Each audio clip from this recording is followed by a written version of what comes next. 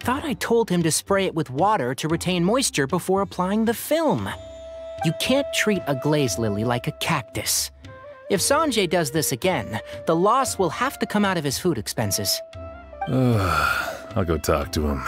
At this rate, he won't even be able to afford eating cacti for much longer.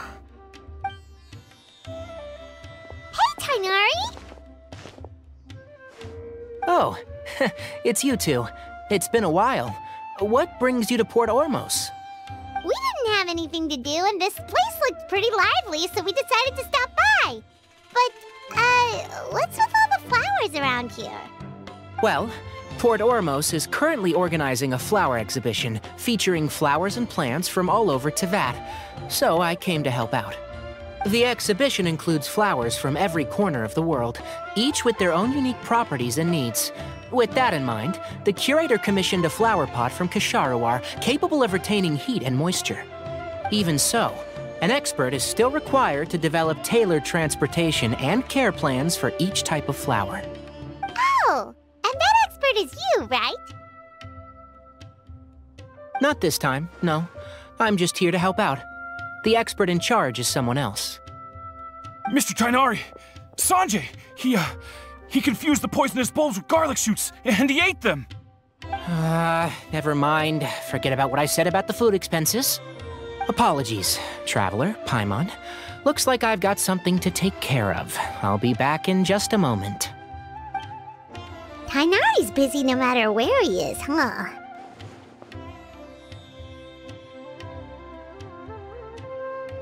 Yeah, seems like it. Hey, don't look at Paimon like that! Paimon is super careful about what she eats. Well, looks like Tighnari might be busy for a while. Let's take a look around the port in the meantime.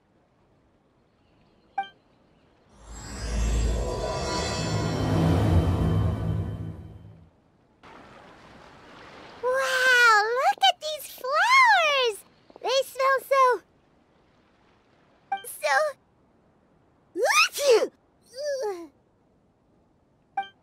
Huh?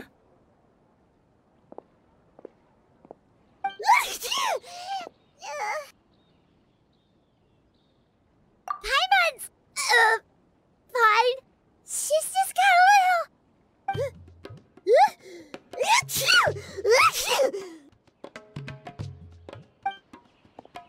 Rainbow roses, glaze lilies, and Cecilia's? No wonder.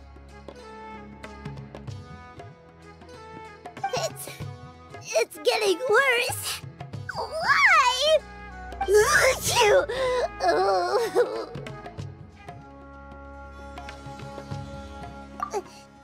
But, uh, I was just a moment ago, she didn't even eat anything weird. Ah, a moment of your time, you two? If it's not too much trouble, perhaps you could try this. Incense?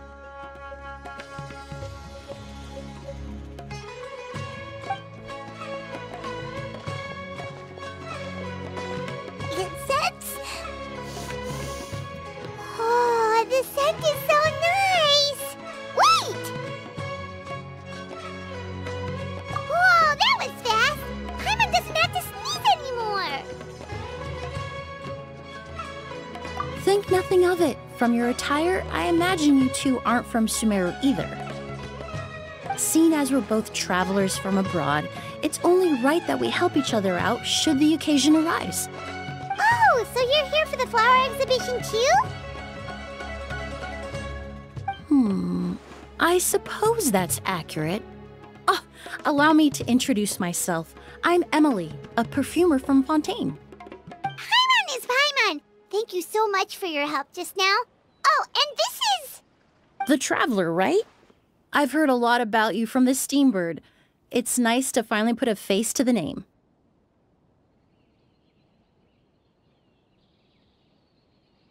What happened back there? Why did Paimon start sneezing all of a sudden? Hmm. Have you ever heard of hay fever?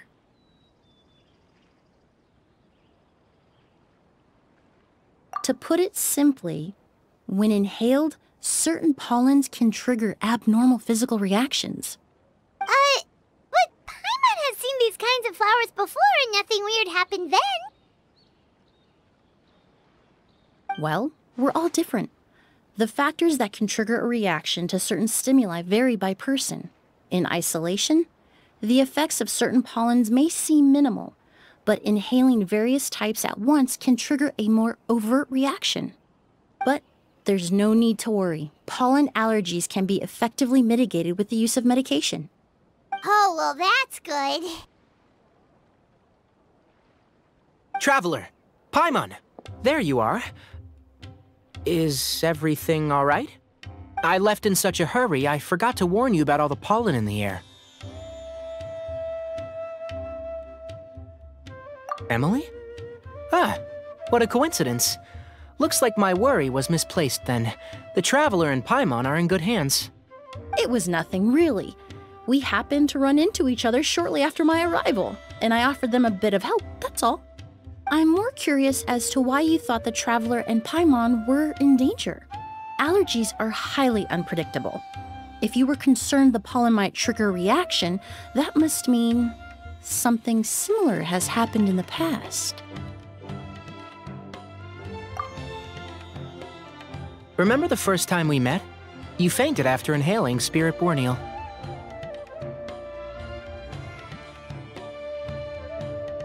The Spirit Borneal didn't affect Paimon at all, and now she's the one suffering. It makes no sense. It's not really something you can make sense out of, Paimon. There are all kinds of allergies out there, caused by a variety of different factors. Some people are even allergic to almonds. It's not something you can generalize. Exactly. I even encountered a case in Fontaine where someone had an allergic reaction to soba noodles their family brought back from Inazuma. Whoa. Good thing Paimon isn't allergic to anything delicious. Hmm. In a manner of speaking, although you could say the patients I deal with are rather unusual. In addition to medicine, Emilie is also very knowledgeable about botany. She's taught me a lot about the native flora around Fontaine. And that's where my expertise ends, I'm afraid. When it comes to breadth of knowledge, Tighnari certainly comes out on top. A flower expert?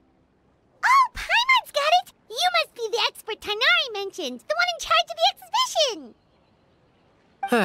Wrong again, I'm afraid. Well, I did come for the exhibition, but only to inquire about the Auguste variety. I'm not involved in any official capacity. Oh, Paimon was sure she got it right this time. It's a kind of flower that was once popular in Fontaine.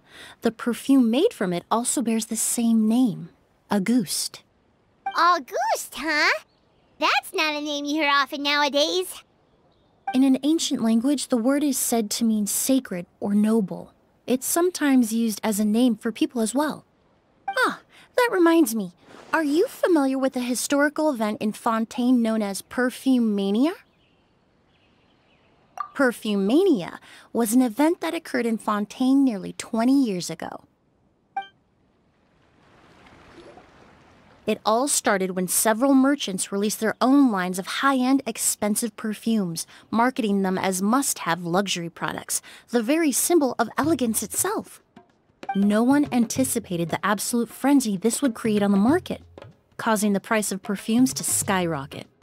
The demand was twofold. What some saw as a status symbol, most saw as a money-making opportunity. You could take advantage of the soaring price by hoarding them and reselling at even higher margins. The value of these products became so inflated, regular bottles of perfume were even going for hundreds of thousands of mora. This resulted in countless disputes and scams. But at the end of the day, perfume is just perfume.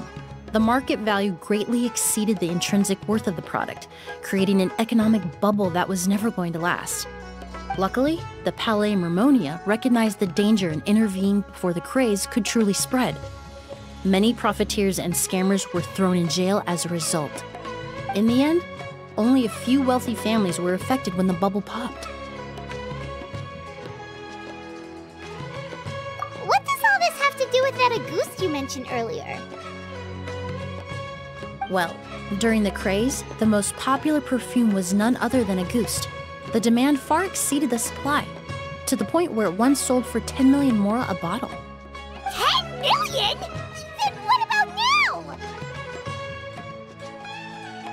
After the mania ended, most perfumes returned to a normal price.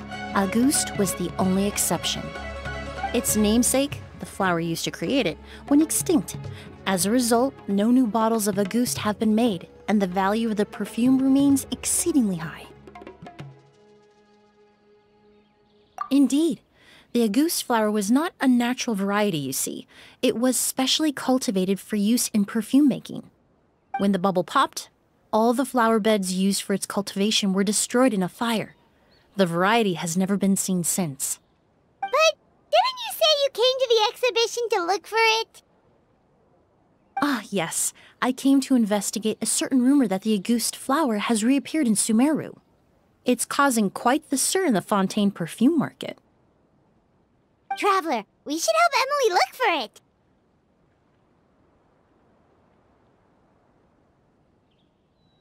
I have to agree. Emilie wrote me to ask if I could look into the rumor, but the forest rangers haven't received any reports of new plant species recently.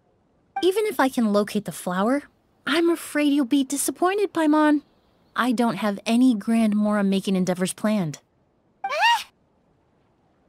Divine, noble, one of a kind, all beautiful sentiments to be sure, but to me, they overshadow the very essence of the product.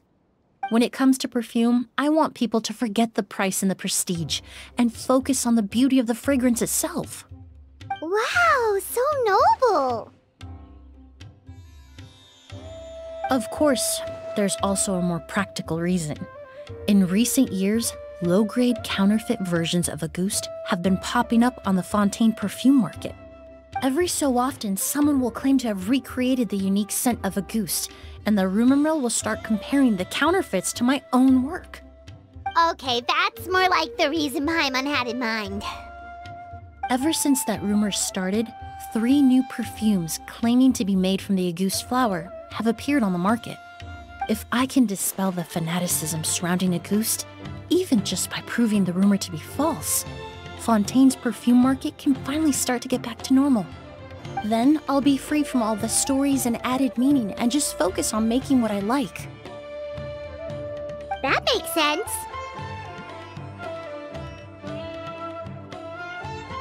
Oh, I would of course be grateful for your help, but I wouldn't want to trouble you. Well, you said it yourself. We're both travelers from abroad, so it's only right that we help each other out. Ha! I suppose you're right. Then you have my thanks. Based on the information I have so far, it's unclear if the rumor is true. Mr. Edgar also thinks it's too early to say, but you could always go talk to him. He was there all those years ago, after all. Maybe he'll know something. Huh, I was just about to pay him a visit at the hotel. Edgar? The person you've been trying to guess this whole time. The flower expert in charge of the exhibition. He's also the most respected and experienced perfumer in the area. Back when he was still working in Fontaine, Auguste was his creation. I should also mention, he was my teacher, the one who taught me the basics of perfumery when I apprenticed in Sumeru. So this guy was a famous perfumer in Fontaine, but then he came to Sumeru to teach people from Fontaine? It sounds confusing. It's a long story. If you're interested, we can talk more about it when we see him. He should be staying near the hotel.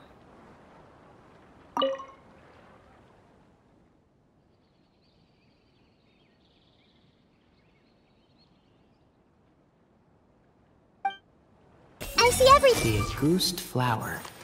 A mysterious species. I need to stay back and keep an eye on things here at the port. If something happens, don't hesitate to find me.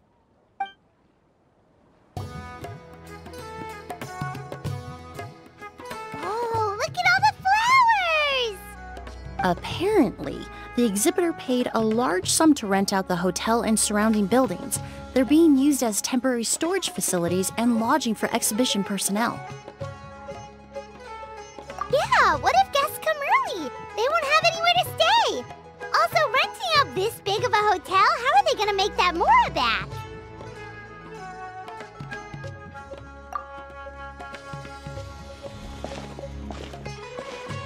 It's been so long, I almost didn't recognize you, Edgar. Well, you and your brother haven't changed a bit. Oh, yeah, okay, all this catching up is nice and all, but let's get down to business. We need to talk about Kirya. Is he. Hold on, we have guests. It's nice to see you again, Master. Emilie? Is that you? oh, it's been years. Look at you. You're all grown up. I've heard you've become quite the famous perfumer in Fontaine. It would seem the student has surpassed the master. Oh, well, it's all thanks to your mentorship. Ah, hardly, hardly. I taught you the basics. Hearing you call me master, well, I'm not sure I'm deserving of that title. I've taught many students here in Sumeru over the years, but I've yet to see one turn out quite as accomplished as you. You're the only one who can take credit for that success.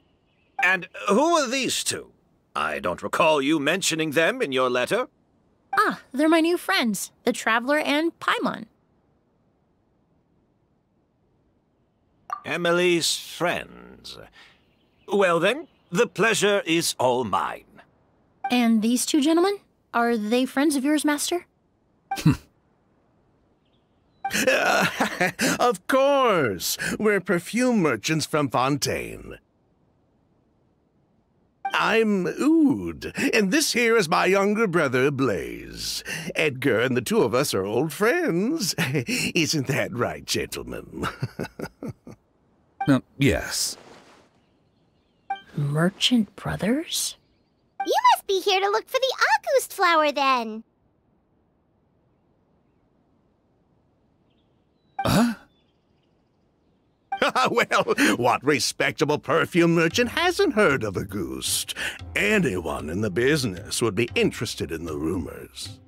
I'm guessing you're here for the same reason, Emilie. Uh, we were just about to get into it, so you three might as well join in. I commissioned a few Eremites to do some scouting for me. They searched all over Sumeru, but there were no sightings of the Auguste flower. That being said, there are people in Port Ormos who claim to have smelled a unique fragrance on the streets. Definitely floral, but still distinct. Some of them were merchants who lived in Fontaine 20 years ago. According to them, the fragrance smelled exactly like the Auguste they remember from back then. A one-of-a-kind, divine, and noble scent. Hmm. Maybe someone around here just happens to have a bottle of Auguste from back then. No, I don't think so. I doubt that's the case. Even if someone had a bottle that was never opened, the fragrance of the perfume would have changed over time. Very few perfumes can go decades without a change in scent. A Auguste is even more prone to that kind of shift. Only a few bottles still exist in Fontaine, and their scent would have completely degraded by now. Although, could there be a flower out there with a similar fragrance? Or in accord with the same base notes? Impossible! If Auguste were that easy to replicate, it would never have sold for such a high price all those years ago. The Auguste flower is back. It has to be. Technically speaking, the scent wouldn't be impossible to imitate. Well, let's table that question for now. Uh, Edgar, did any of those people mention where the scent was coming from? No. By the time they realized they had smelled something, the scent was already gone. If I hadn't asked about it, they probably wouldn't have given the experience a second thought. Compared to things we see and hear, smells can be much easier to overlook. Hmm, it almost sounds like someone wearing the Auguste fragrance passed them on the street. Wait, are you saying Just thinking out loud. don't pay me any mind. We don't have much to go off of right now, but we can't rule out that possibility. I'll send some more people to investigate. You all traveled so far to be here. Why don't you rest in the hotel for a bit? Uh, Ood, Blaze, this is the key to your room. Ooh, you've got the keys to the rooms? Do we get free lodging too? Ah, my apologies. All the rooms in the hotel are accounted for, I'm afraid. Most are being used for storage ahead of the exhibition, you see. I managed to tidy up one of the rooms for these two at the last minute, but by the time Emilie wrote to me, there was no more space left for her to stay. Oh, and we just showed up out of the blue. Guess that means there's definitely no space for us. Uh, I should have been more considerate. Here I am with an entire hotel at my disposal and no place to offer you to stay, even after you made the trip all the way to Sumeru. Don't worry, Master. I can sleep on the boat tonight, or I could even camp in the wild. It would give me the opportunity to collect some plant specimens while I'm here in Sumeru. Ah, even better. Although, would it be possible for me to leave some of my luggage here? It would be rather cumbersome to take it camping. It shouldn't take up too much space. Well, uh, about that.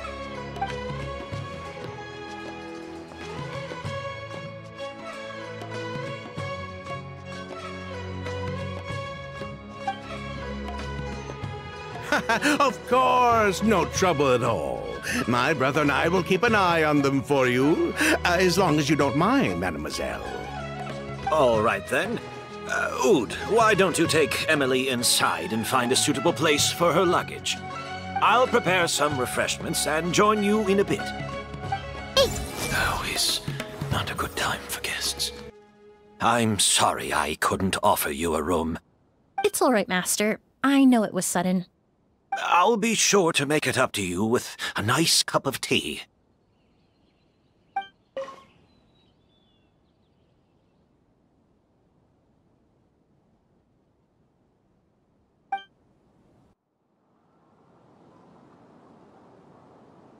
Whoa, the smell of flowers is so strong. Didn't Edgar say he tidied up around here? There's still so many flowers. Paimon took a peek through the window earlier and his house was packed with flowers. Looks like this exhibition is gonna be huge.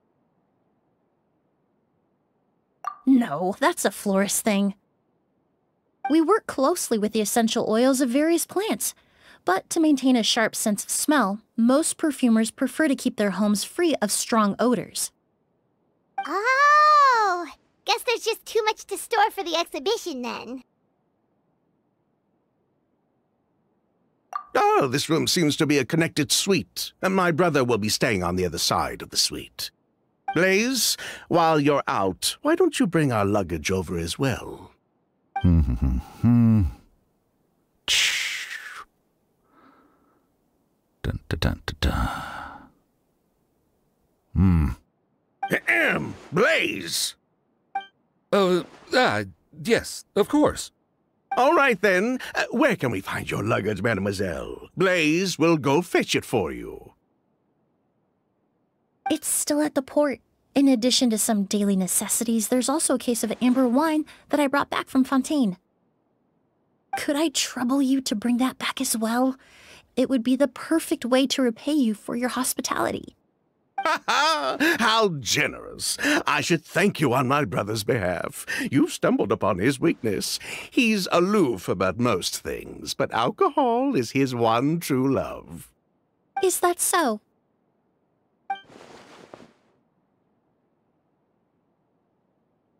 Mr. Ood, Mr. Blaze, thanks for... Hey! What, what are you doing? That's Master's voice.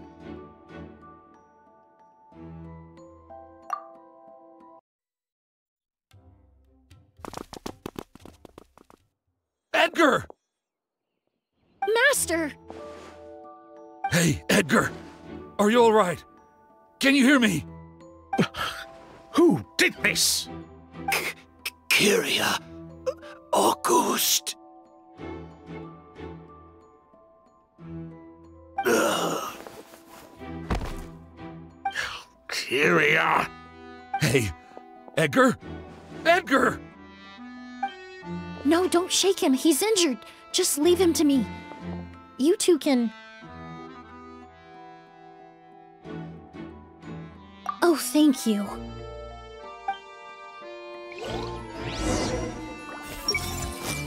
I hope we're not too late. I see everything. Skin is flushed, pupils are dilated. but he's still breathing. That strange smell around here. Is it coming from this bottle?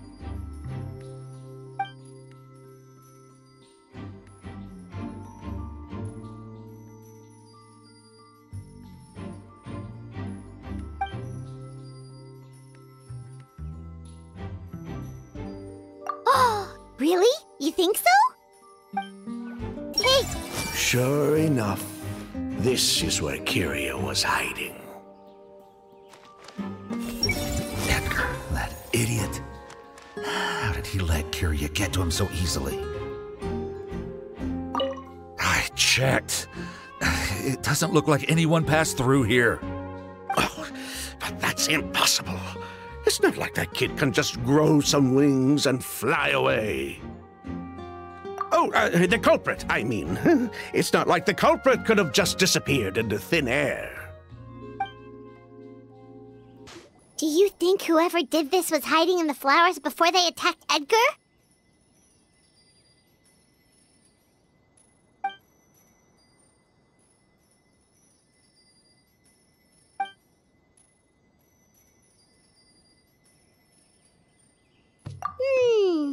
True.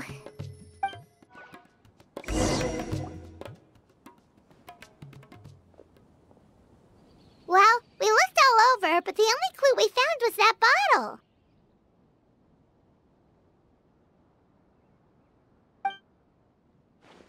The most important thing we can do now is focus our efforts on treating Master. Can you help me move him inside?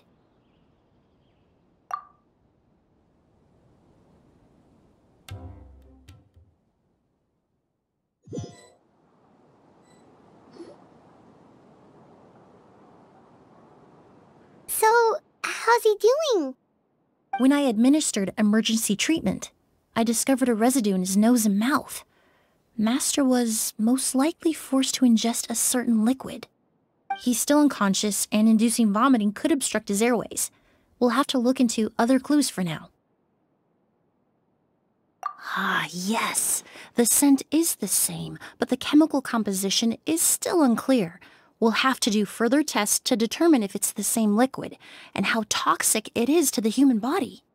But first, I do believe there are two people who could shed some light on the situation Mr. Sylvain, Mr. Lucian. Wait, you know. Hey! Were you talking to us, mademoiselle? I'm afraid we'd never heard of those names before. Hmm. Before arriving in Sumeru, I asked a friend from the Special Patrol to look into the creators of Auguste. There were four people in total the perfumer, Edgar, the one thrust into the limelight, and three others. A researcher from Sumeru responsible for cultivating the Auguste flower, and two merchant brothers responsible for promoting the product on the market. The two brothers capitalized on the mythos surrounding Auguste. Their actions lured in numerous speculators and profiteers, inflating the price of Auguste even further.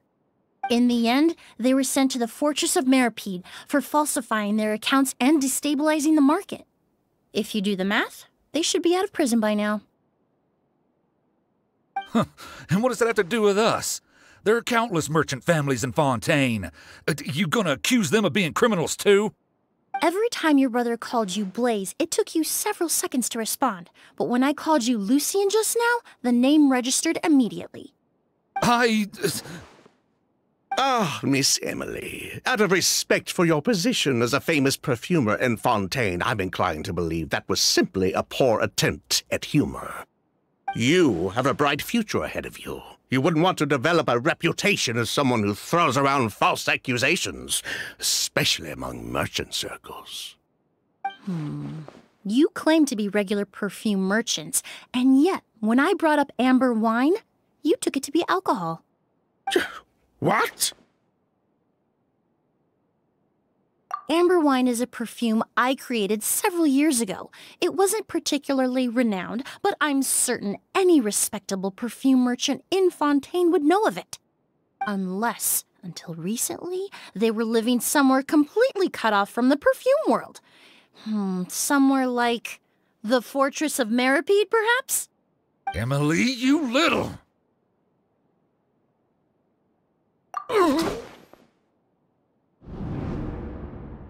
Don't misunderstand, Mr. Sylvain. I don't bring this up to criticize you. No matter what happened all those years ago, the court has already passed its judgment.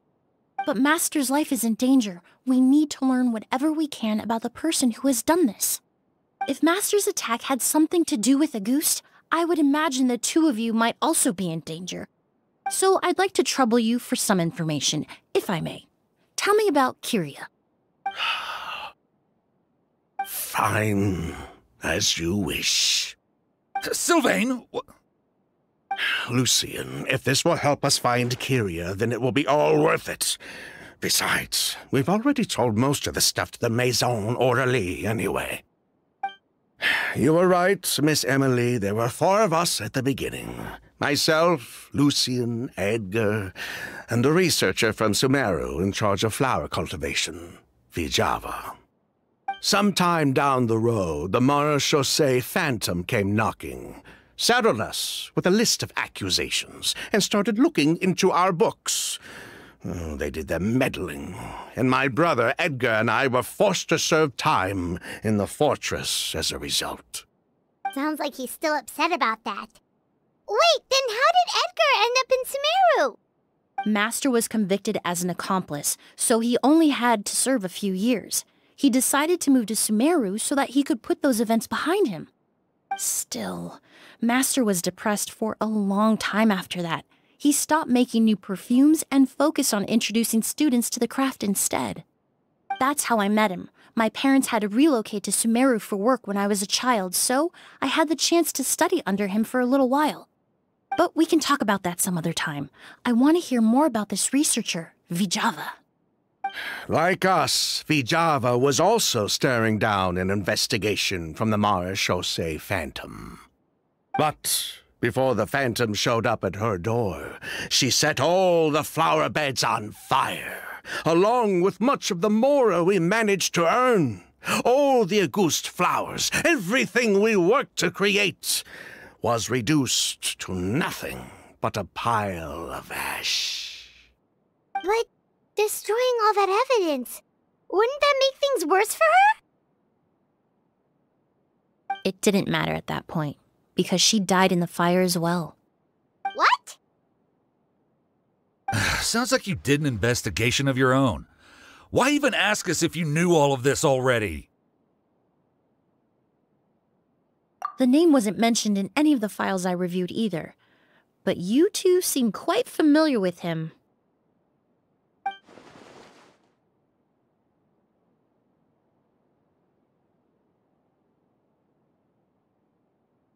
Uh, Kirya was Vijava's younger brother. He was just a clueless kid back then. Somewhere in his teens, I think. He helped his sister with her work sometimes, but that was pretty much it. He didn't have any idea what we were doing. Vijava kept him close most of the time. The three of us were probably the only ones who even knew she had a brother. After our operation was compromised, he disappeared. There were no signs of him until recently, when people started saying the Auguste flower had reappeared in Sumeru. So, you think Kirya took something with him back then? Something that allowed him to reproduce the Auguste flower? Vijava doted on the kid like you wouldn't believe.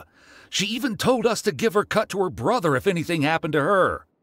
If she left something behind before she died, believe me, Kirya is the one that has it.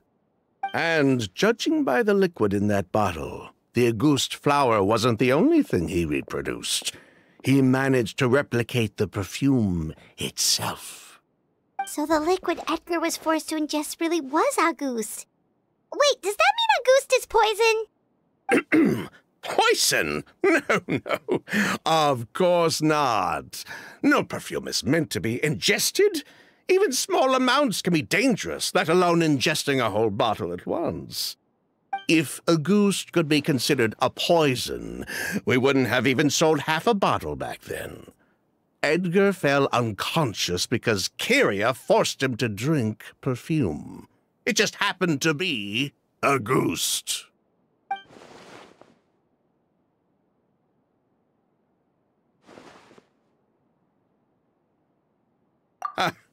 He probably thought we had something to do with his sister's death.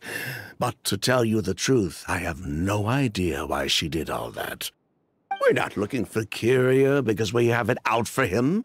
We just wanted to see how he was doing. And, if possible, work together to bring back Auguste.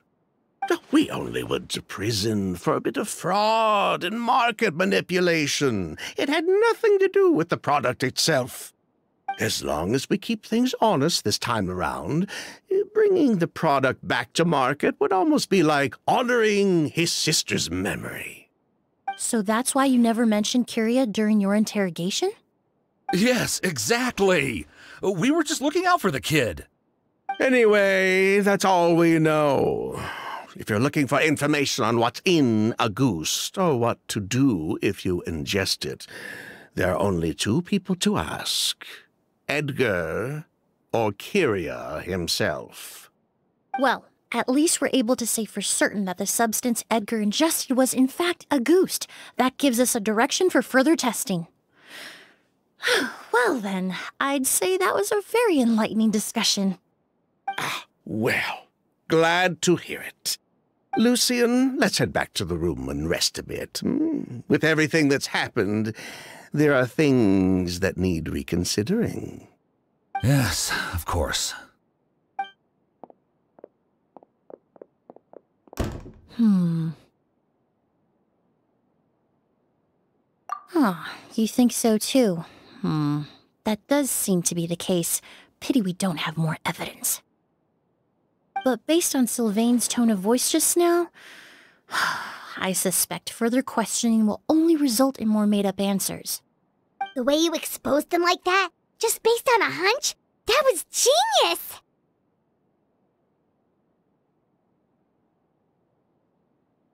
Oh, right! Earlier you said you were only sort of a doctor, and that your patients were... unusual. Oh yes, that's because most of the patients I encounter are already dead. So you're a forensic doctor? Close. I'm actually a forensic cleaner. Once the forensic team and the Marechaussee Phantom are done collecting evidence from the scene, I'm in charge of clearing away the final traces my patients leave on the world. In fact, with just a small alteration to the formula, the same tincture used as the base of perfume can also be made into a cleaning agent. Basically, there are two sides to forensics. Those who collect evidence to expose the truth, and those who clean up the smells, bloodstains, and other substances left behind at the scene. I've learned a lot in my line of work, and I've witnessed a lot of death. But this time, we may still save the patient. Actually, Traveler, could I trouble you to report back to Tighnari and the officers at Port Ormos? We should update them on the situation. I'll stay here and continue to look after Master. Now that we have a sample of Auguste, I'm hoping further analysis won't be too difficult.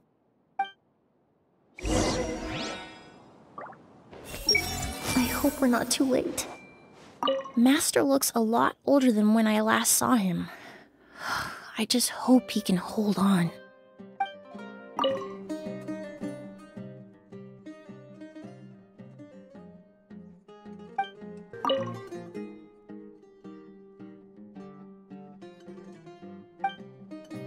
This exhibition is exhausting. Whoa, why the rush? Did something happen? What? Edgar was attacked? He's the most famous perfumer in the region. Someone who's helped countless people around Port Ormos. How could this happen? Sheriff, have you received any reports of a suspicious individual fleeing through the bazaar? No, but we've got eyes all over the area. I'm sure someone's seen Kirya. I'll start gathering my forces. We won't let him get away. What about you, Tighnari? Do you have a plan? Hmm. I'm sure the sheriff can handle things over at the scene, and I doubt Emilie needs my help looking after Mr. Edgar. Uh, but she said she's not a real doctor. Then she was far too modest. She may not be a doctor by trade, but she has a deeper understanding of human anatomy and pharmacology than most scholars from the Amurta Darshan. Not to mention the fact that Mr. Edgar's condition is related to perfume. Emilie is certainly in the best position to help him. As for me, I'll head to the academia and see what I can learn about Vijava and Kirya. Oh, that's right! Vijava was supposed to be a scholar from Sumeru. Do you recognize the name? From Emilie's letter, certainly, but that was the first time I'd heard of it. The academia produces a lot of scholars, and there are plenty of graduates who choose to pursue a career outside their darshan. I didn't have time to look into it earlier, but now it seems like Vijava's past could be critical to getting to the bottom of what happened to Mr. Edgar. I have friends in Sumeru City that can help me investigate. With any luck, we'll have news to share by tomorrow. I'll leave you and Emilie to watch over things here in Port Ormos. Well, it's been a day. Wonder if Tighnari's discovered anything. But things weren't looking good with Emilie's master yesterday. We should check on things at the hotel first.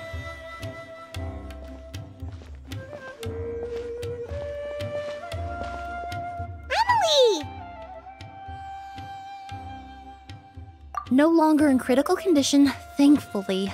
He's still very weak, but with a bit more rest, he should regain consciousness soon. My chemical analysis of Auguste also went smoothly, although it certainly raised some questions. Mm-hmm. I was able to identify the components that give the substance its fragrance, but I also noticed an abnormal trace of elemental energy in the sample. Elemental energy? Hmm, hard to say. It was such a minute amount, proportionally speaking, like mixing a single drop of perfume into the ocean. I had to use one of the newest tests developed in recent years to even detect the traces present in the sample. Unless you were abnormally sensitive to elemental energy, I doubt it would have any effect, even if you use the product every day for 10 years. As for whether Master's condition was caused by the elemental energy present in the sample or some other component of the perfume, it's still too early to say. Oh, that reminds Paimon. Did Tighnari come and find you? Maybe we could ask him to take a look. Hmm. I received a message from him last night, but I haven't heard anything since. The message said he was looking into some information at the academia. Oh, Paimon thought he might have stopped by to see you first.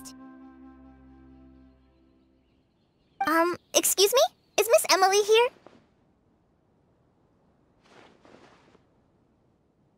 Oh, perfect! Familiar faces! Traveler, Paimon, you're here too!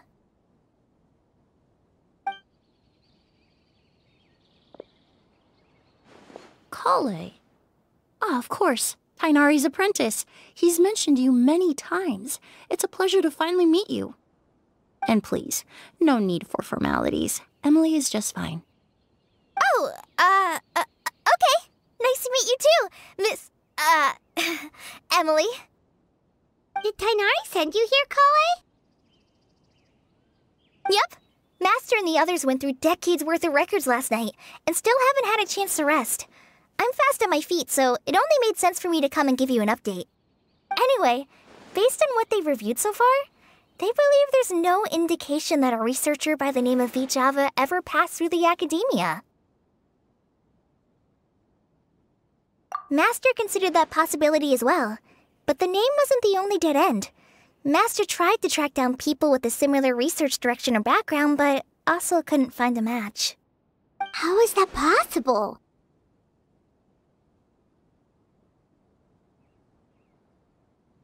It's starting to seem very likely. If we want to figure out her true identity, I'm afraid another conversation with those two merchants might be our only.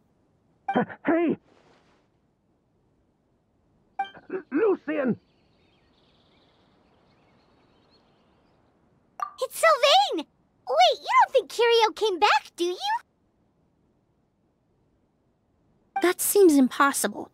If someone came in or out of the hotel just now, we would have seen them.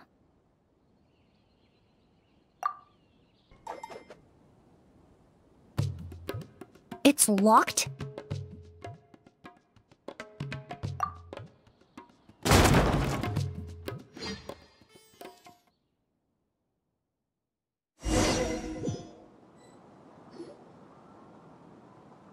Lucian! Lucian! Come on! Wake up!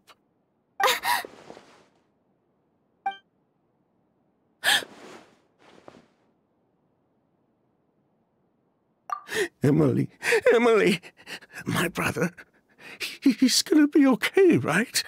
He, he's, he's just unconscious. Like what happened to Edgar. I'm sorry, Mr. Sylvain, but we were too late this time. No, no, that's not. That's not possible.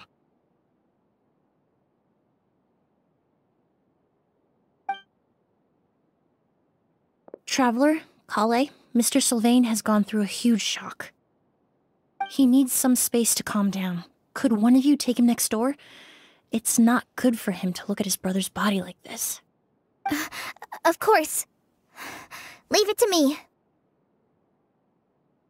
Thank you both.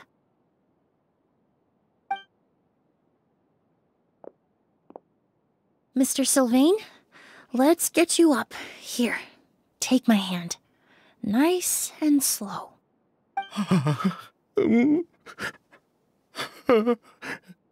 We'll take things from here. Just focus on getting some rest. Here, this way.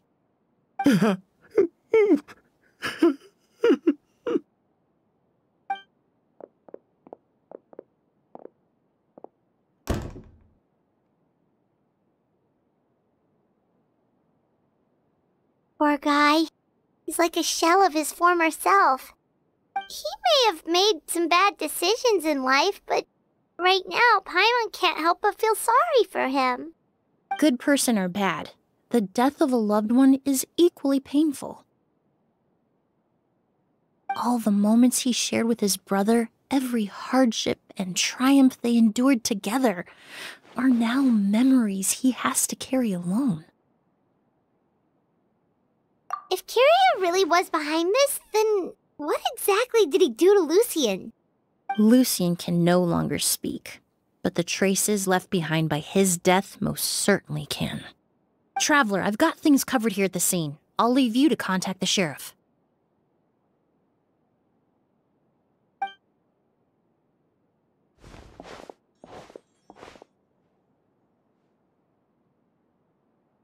Who would have thought? Yesterday's case is still up in the air, and now this happens. Miss Emilie, I heard you're an experienced forensic doctor. Have you been able to discover anything? Oh, I'm not actually a forensic doctor. I just happen to have some relevant knowledge. I did take a look, though. Judging by the temperature and rigidity of the body, it appears the time of death was sometime last night. I'd have to do a more thorough investigation to find out more. Then, would you mind helping us investigate? Before he left, Tighnari said we could trust your judgment if something like this were to happen. Of course, I appreciate your trust. Many of the traces left behind at the scene will fade with time, so the sooner we investigate, the better. We'll help too. We don't know much about dead bodies, but you can leave the other clues to us.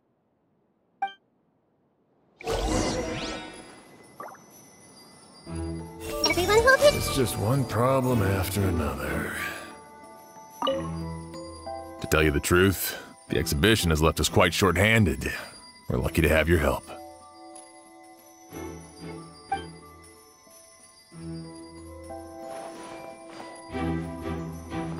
I see everything! Did he pass away while he was unconscious?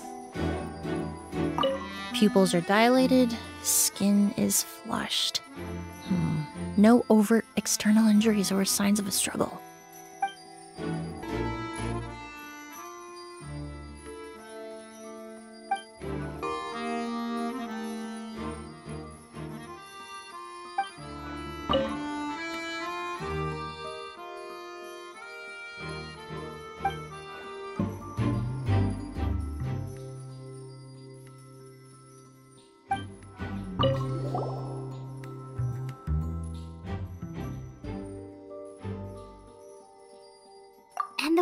Are shut tight too.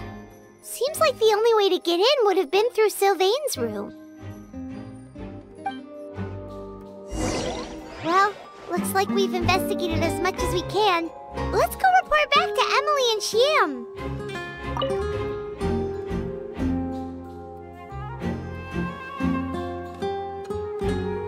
So, did you find anything?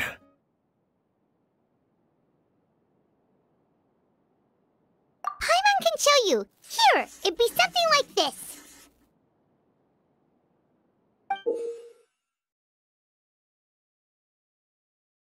But entering through the room next door without alerting Sylvain.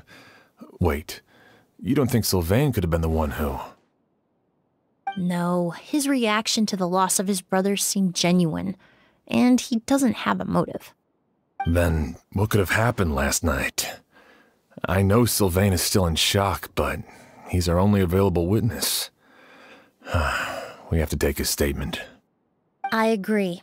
Also, I've made some new discoveries, so we might as well head next door and go through everything together.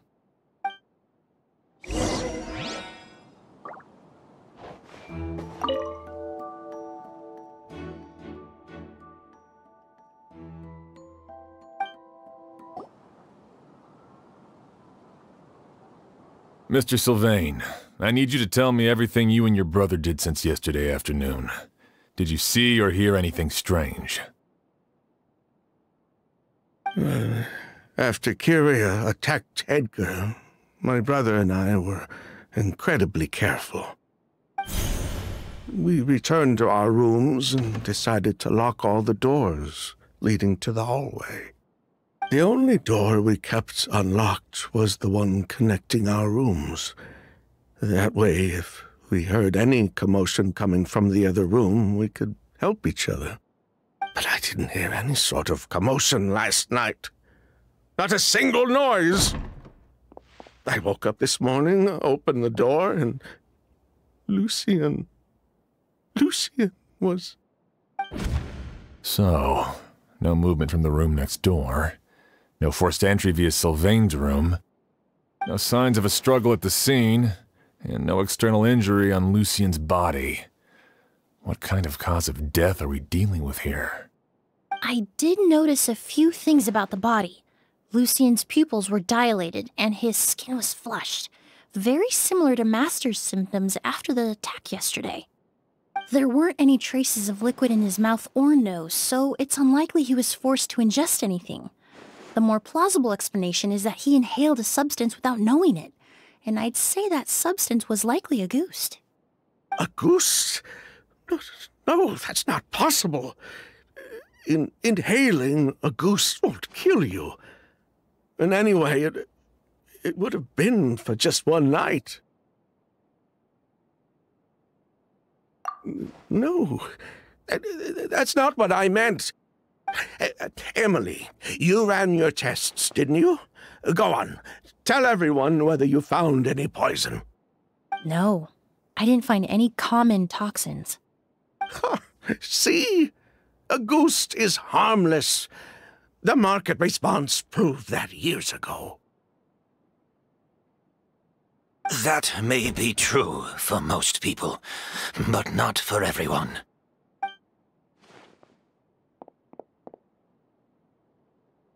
Master! Edgar? You're up and about already? Thanks to Emilie, I'm out of the woods for now. Sylvain, no matter how hard you may try to hide it, The truth will always come to light. Edgar! Even if we could keep it a secret for another 10 or 20 years, do you think Kirya would just let us be? No. He would never give up. Not if he's doing all of this for Yelena.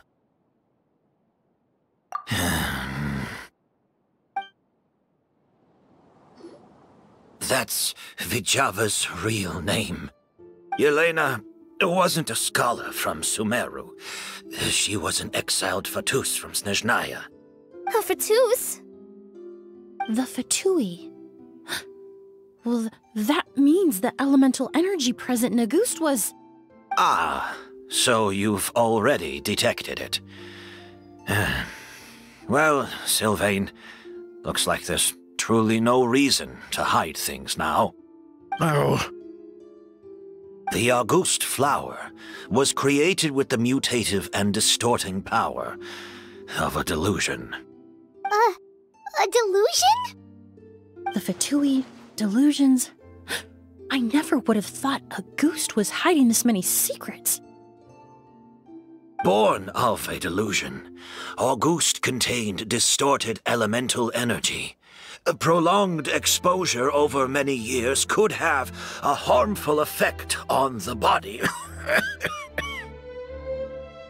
that's enough, Edgar. I'll take it from here. At first, Yelena wanted to keep refining the perfume and the flower, but no one knew how long the perfume mania was going to last back then. It didn't have any effect on ordinary people anyway. Every day we postponed going to market was another day of lost earning potential. So you decided poisoning people was worth the risk? Hmm, listen, it's not like it was good for business. But all that talk about Auguste being harmful over time, Yelena was just speculating. The impact was practically negligible. Hmm, Unless you were particularly sensitive to elemental energy or had an entire bottle shoved down your throat like Edgar, you could use the product for decades and be completely fine. It may be true there are no records of Auguste poisoning in Fontaine. But even if no one was acutely poisoned, willfully bringing a product to market despite explicit knowledge of its harmful effects is still a serious crime.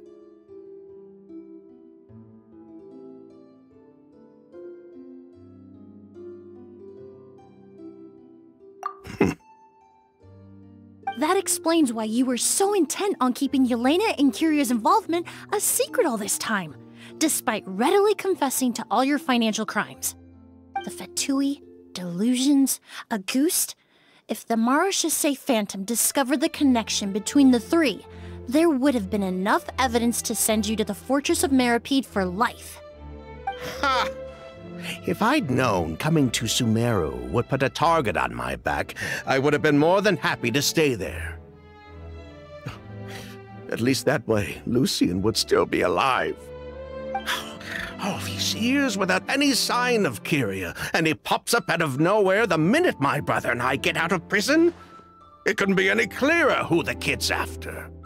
Auguste was harmless before. The fact that it's killing people all of a sudden must be his doing as well. So there's bad blood between you. What about Yelena's death? Was that a cover up too? A way to destroy evidence? I'll admit, we thought about it at one point. We took care to disguise the product circulating on the market, and no one was questioning Yelena's fake identity. But if the Marechaussee Phantom decided to look into the flower beds, it would have been the end. Yelena's ties to the Fatui, the role of the delusion, everything would have been exposed. Before we could even put our plan in motion, Yelena beat us to it. She burned all her flower beds and threw herself into the fire as well. But. But if her goal was to destroy evidence, there would have been no reason to do that to herself. Yeah, she could have just burned the flower beds and fled with her brother. I thought about it for a long time, but it wasn't until just now that I finally understood her reasoning. Everything she did, it was for her brother, Kirya. One of the reasons they defected from the Fatui was the deterioration of Yelena's body due to her excessive use of a delusion. She didn't want her brother to follow in her footsteps after her death. After arriving in Fontaine, Yelena continued using the delusion to cultivate the Auguste flower, weakening her body even further. There were times when she couldn't even walk. So, she couldn't flee with her brother because she was afraid of holding him back. If her true identity was exposed, she and her brother would face pressure from both Snezhnaya and Fontaine. The Auguste flower and Yelena's own corroded body both bore the mark of a delusion. There would have been no way to avoid suspicion. So, in the end, she burnt it all to ash, including herself. With all the evidence erased, Kirya was free to take the Mora and run. So the wealth you earned from Auguste, it wasn't destroyed in the fire. Yelena gave it to her brother? Most likely. Before Yelena died, she said if anything happened to her, she was going to leave everything to her brother. We just didn't realize she meant our cut as well. That's why Lucian and I were searching for Kirya, uh, to take back our Mora and the Auguste flower. Mm, We just didn't realize Kirya was baiting us the whole time. It was all a trap. But why is Kirya out for revenge anyway? Doesn't he know about Yelena's decision to sacrifice herself? I don't think he knew his sister was nearing death. Yelena always wore heavy makeup around him to conceal her deteriorating appearance. She kept herself busy with work to keep out of sight. That way her brother wouldn't notice how she could barely walk. Then all we'll need to do is tell Kirya what really happened, and then he'll give up on his revenge. I'm not so sure. Even if he knew the truth, he'd still find someone to blame. He might think Yelena was forced into using a delusion to cultivate Auguste, or something like that. It's hard to pull yourself out of that kind of hatred, especially when you've been living in that headspace for so many years. Very true. Even if Yelena's death was her own choice, I wouldn't call myself innocent either. Edgar, what are you talking about? Think about it, Sylvain. If we hadn't been in such a hurry to capitalize on the perfume mania all those years ago, do you think Yelena would have elected to take those risks? If we hadn't been so blinded by greed, so insistent on increasing the scale of the flower cultivation, do you think Yelena's health would have deteriorated as fast as it did? If we hadn't invited the Mara Marechaussee Phantom to our doorstep by breaking the law at every turn, Yelena could have survived. She knew her limits. She knew her days were numbered. Maybe it was for her brother, but she was in it for the Mora just as much as us. We were just trying to earn a bit of Mora. And what, we deserve to die for that? Target me for being the mastermind, sure. But what about Lucian? He was just following my orders. Lucian's crime. Was it really so extreme that he had to pay for it with his life?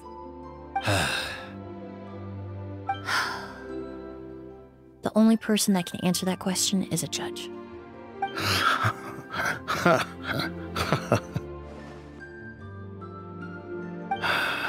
Fine. I've said my piece anyway. Drag me back to Fontaine to stand trial. I don't care. Three people from Fontaine, one from Snezhnaya, and a crime committed in Port Ormos. What a headache. Well, we can only wait until the Academia sends someone to deal with it. I'm guessing we'll have to contact Fontaine as well. In any case, we won't really know anything until tomorrow. with the exhibition, we don't even have space in Port Ormos to detain anyone. Such a headache. Hmm. The hotel could suffice. You could station a few officers to keep an eye on Sylvain and myself. Although with Sylvain's mental state and my physical one, I don't think you need to worry about a jailbreak. Mr. Edgar, are you saying... If Sylvain is to stand trial, then I deserve the same fate. A crime is a crime, accomplice or not. I'd just like to take care of a few things before I go. Uh, say goodbye to my plants and all that. As for Sylvain, I'm sure he also has some goodbyes of his own. Would you be willing to grant that request, Sheriff? Well, all right. I'll talk to the Academia. No matter who you were in Fontaine or what crimes you committed, the man we grew to know in Sumeru proved himself to be a good person. Your request is granted. You have my thanks, Sheriff.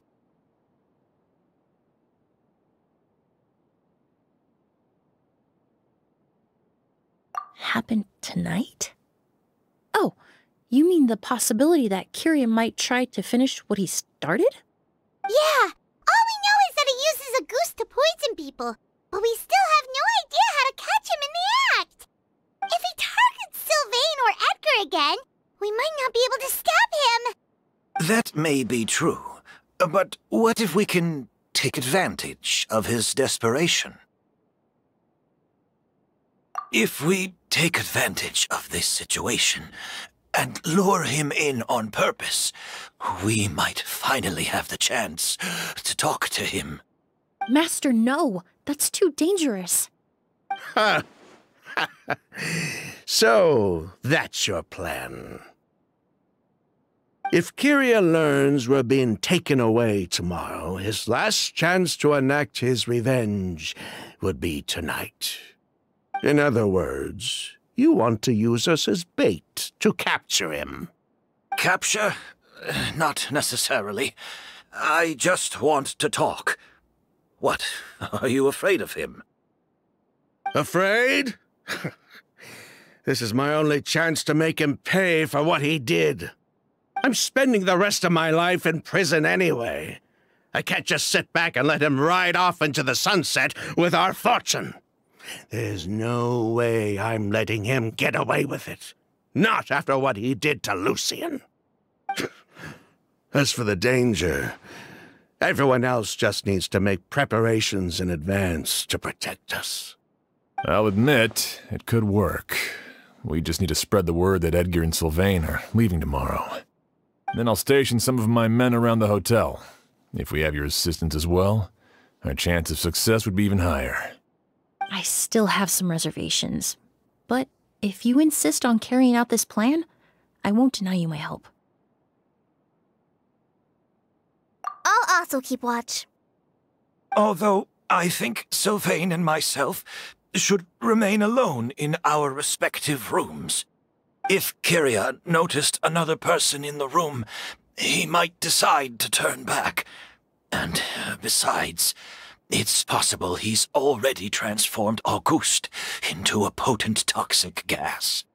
Uh, you mean if he doesn't see a way to get his hands on the two of you, he might get so desperate that he'll just start using Auguste on everybody? If that were to happen, everyone's standing guard, even the innocent citizens in Port Ormos would all be in danger.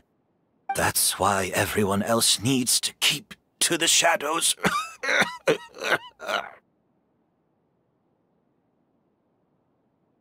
You're still recovering. You need to rest. this old pack of bones doesn't bounce back like it used to. I suppose I'll just have to leave the rest to you. All right, we can figure out a plan to keep watch later. Right now, I say we split up, start spreading that information before it's too late.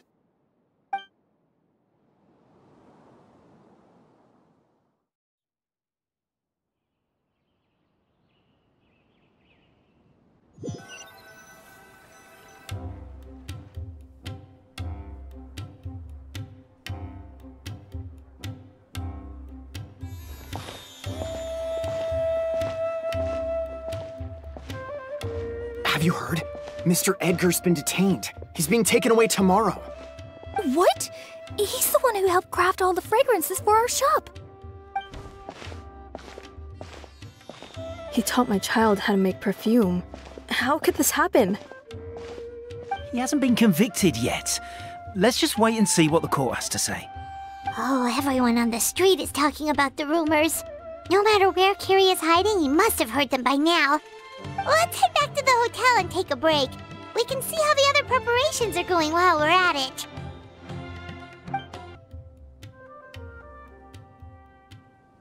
Emilie, Sheriff Xian wants to talk to you and the Traveler about our plans for the Night Watch. Thank you, Collei. But first, here, I prepared a kind of herbal tea that helps calm the spirit. Why don't you have some? Oh, that's very kind of you, but I'm okay.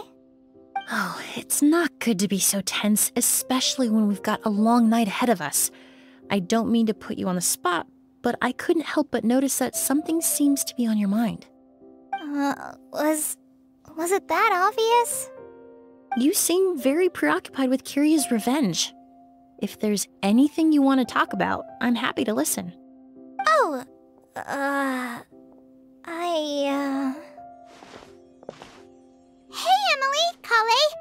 Oh, are we interrupting something?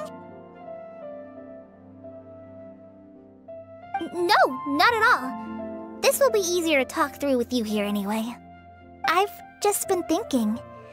If Kirya has the capacity to commit murder while remaining completely undetected, why didn't he target Sylvain along with Lucien last night? There was just a single door separating them. If his intention was to target both brothers, then there was barely anything standing in his way. Don't you think? When I accompanied Sylvain to his room after Lucien died and saw how distraught he was, I suddenly realized. Maybe Kirya did that on purpose. Maybe he wanted Sylvain to experience the pain of losing a loved one before he completed his ultimate revenge. So did he attack Edgar as a warning then? To scare Sylvain and Lucien? Based on what we've heard about Kirya, that may very well be the case. Losing his sister all those years ago. What has been going through his head? What has he been forced to endure? Whenever I get to thinking like that, I just can't help but wonder. If I were in his place, would I be able to let go of that hatred? I I'm sorry. I know I shouldn't think like that. Not after everything he's done. But I just can't help it. There's nothing wrong with the way you're feeling. Empathy is a part of human nature. In all my years of cleaning up crime scenes, I've witnessed countless families mourn their loved ones. Their cries of devastation and anger still echo through my mind, even now. Some of them even try to stop me, begging me not to erase the last remnants of their loved ones. Getting swept up in those emotions will corrupt your judgment. Surround yourself with fragrance for too long, and your sense of smell will become dull. Allow yourself to be consumed by your emotions, and you lose the ability to think rationally. So while you hold on to that sense of empathy, you also need to ask yourself Do Sylvain and Lucien really deserve to die? How much did they truly know about the Fatui and the delusion? Did they force Yelena to make those decisions? Answering those questions requires a lot of time and evidence, while a single act of vengeance can put those answers forever out of our reach. I've witnessed a lot of deaths in Fontaine. When someone dies, a certain amount of information can be inferred from the traces left behind at the scene. But generally speaking, death will just leave most questions unanswered, and the whole picture ever incomplete. Once you're consumed by hatred, it will become next to impossible to think about things that way. For someone like Kirya, I'm sure right and wrong lost all meaning a long time ago. You're right. The fact that we can approach these questions from this perspective isn't because we're more rational than them. It's because we're fortunate enough not to have suffered that kind of loss. But that also makes us perfectly positioned to stand on the outside and try to pull them back from the brink before it's too late. I understand Kirya's decision, but I still want to stop him. Master, Sylvain, and Kirya. They all deserve to survive. Huh. The fortunate and the unfortunate.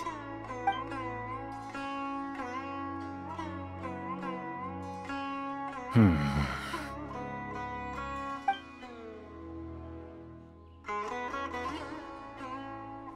Emilie, Traveler. Huh? Edgar, you're here too? Oh, it's you two! Um, didn't you head back to your room to rest, Edgar? Is it really okay for you to be out and about like this? A little exercise never hurt anyone. Besides, I don't have much time left in Sumeru. So I'd like to take care of my plants while I still can. We could do that for you, Master. No need. I've grown attached to these flowers, and this is my last chance to say goodbye. Come tomorrow. I'll be happy to entrust their care to, to you.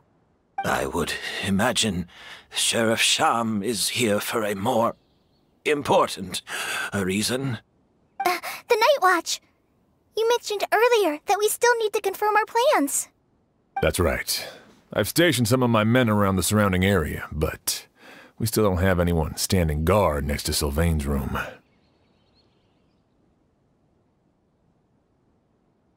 Exactly. After some discussion, we concluded that Sylvain has the highest risk of being attacked next. You're the most skilled fighter here, Traveler. And Emilie's expertise is sure to come in handy in a pinch. That's why I want you two stationed next to Sylvain's room. So, are you up for it? Sounds perfectly reasonable. I'll be glad to have your help tonight, Traveler.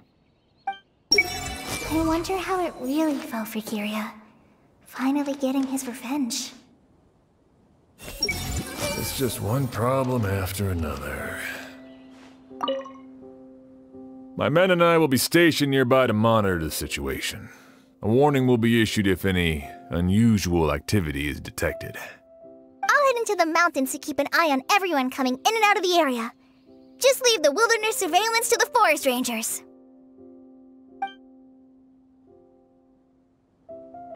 Shouldn't you be standing guard in the room next door? I would hate for Kirya to notice you here, an abandoned ship.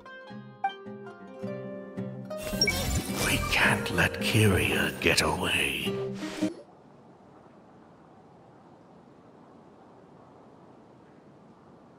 Huh. Not a peep. Has Kirya given up on his revenge? Hmm, guess we'll have to keep at it.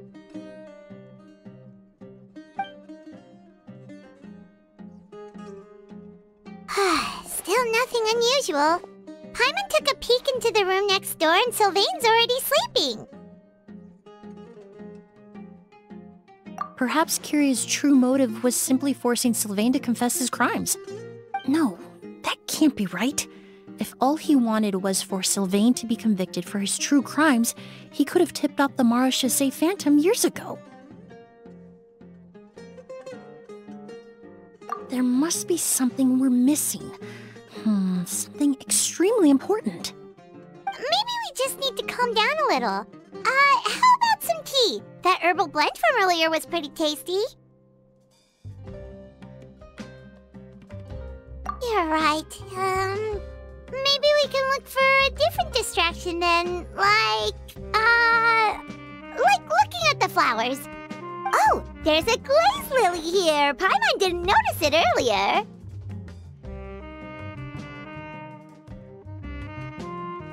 Flowers, glaze lilies, incense. oh no! Sylvain's room! Quick! Wait, what?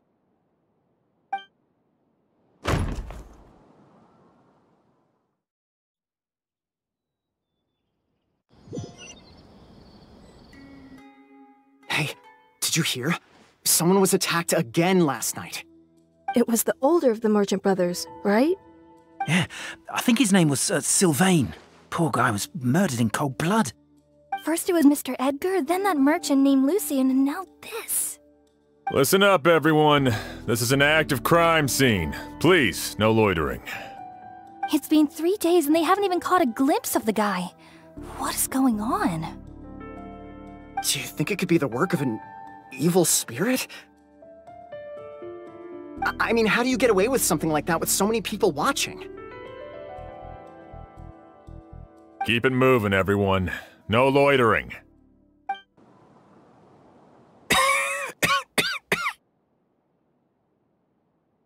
I suppose I'm next. You don't know that. Kirya already attacked you once, and you survived. Perhaps he doesn't consider your crime to be worthy of death. You were the only reason I managed to survive, Emilie.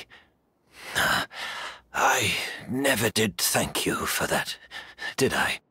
Even if I wasn't there, Tighnari was also in the vicinity. He would have been able to help. Is that so? I suppose I'm a very fortunate person then. I have exceptional students, caring friends, and the respect of my peers. If it is indeed my time to go, then I'll die without regrets. But Kirya has nothing. Yelena is gone. Now, his enemies are too. It really makes you wonder if there's even a reason to keep on living. If you really want an answer, I suppose you'll have to ask Kirya himself once we finally catch him. Ah, well, I hope it all goes well. Emilie, there's something else I'd like to ask of you. With everything that's happened, holding the exhibition is off the table now. But so many flowers were transported here for the show, some of them thousands of miles away from their homeland. I can't let them wither away with no one to care for them. Whether Kirya gets to me first, or I'm sent back to Fontaine to stand trial, I won't be around to look after them. I know it's a lot to ask, but could I entrust them to your care? Of course, Master. Really? Oh, I'm glad to hear it. Now I truly have nothing to worry about. Sheriff Sham still has some questions for me, so I've gotta go. Go ahead. Best not to keep him waiting.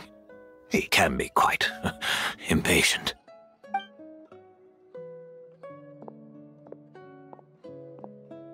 I'm sorry, Master. Wow,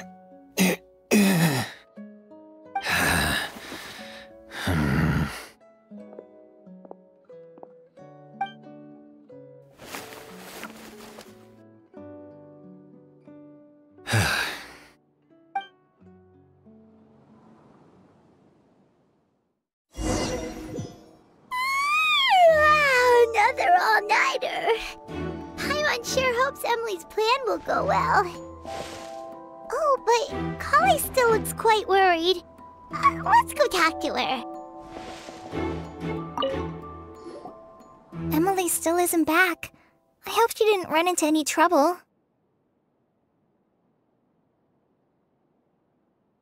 Yeah, that's true. Traveler, I had my men start spreading the information you requested.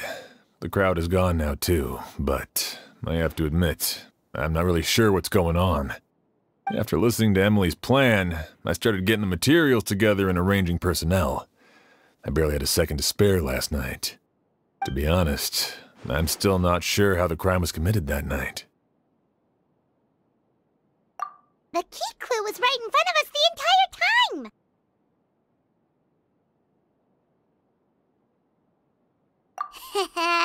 Let's go! We'll show you where the culprit hid Auguste.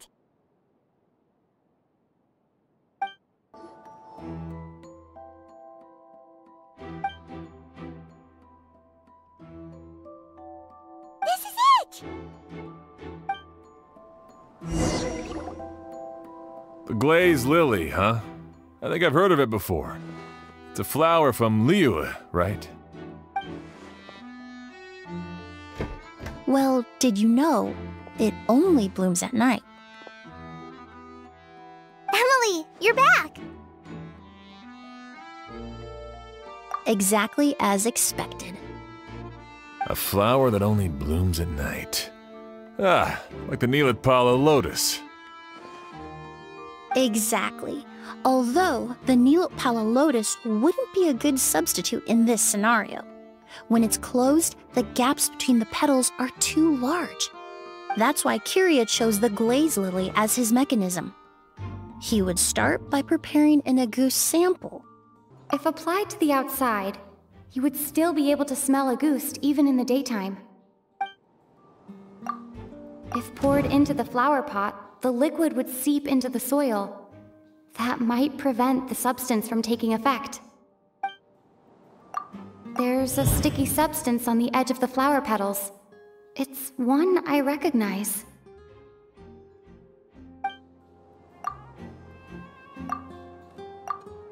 If you stick the petals together with slime condensate, then in the daytime, the glazed lily would act almost like a hidden container. That's right! He applied a diluted form of slime condensate to the petals to stick them together and enclosed a sample of Auguste in the center. That way, the Auguste would remain trapped inside during the daytime, unable to seep between the petals and evaporate into the air. This also allowed the culprit to plant the poison well in advance while his targets remained oblivious. However, the diluted slime condensate wouldn't be viscous enough to prevent the petals of the glaze lily from opening at night. So by nightfall, the flower would bloom, thereby forcing the target to inhale the Auguste trapped inside. And Kirya could execute his revenge without having to step foot inside the room during the night. By the next morning, the sample of Auguste would have nearly fully evaporated. The glaze lily would have already closed its petals, and any lingering odor would be concealed by the fragrance of the other flowers in the room. Wait a second. You're telling me this version of Auguste is so toxic, inhaling the minute amount trapped inside a flower is enough to kill a grown man? And how did Edgar even survive ingesting a whole bottle of the stuff? That's because Auguste is just as dangerous now as it was all those years ago. The level of toxicity has never changed. Only a small subset of people are truly at risk. Ah, you mean people who are sensitive to elemental energy. So it's just some sort of happy coincidence that Sylvain and Lucien are allergic to the stuff? That can't be right. They were involved in the operation all those years ago. If the stuff gave them a bad reaction, they would have known from the very start. I wouldn't use the word allergic necessarily. It's more like they're susceptible to its effects. But that distinction isn't important right now. You can think of it this way. It's not that Sylvain and Lucien are innately sensitive to elemental energy, but that Kirya found a way to ensure that they would be.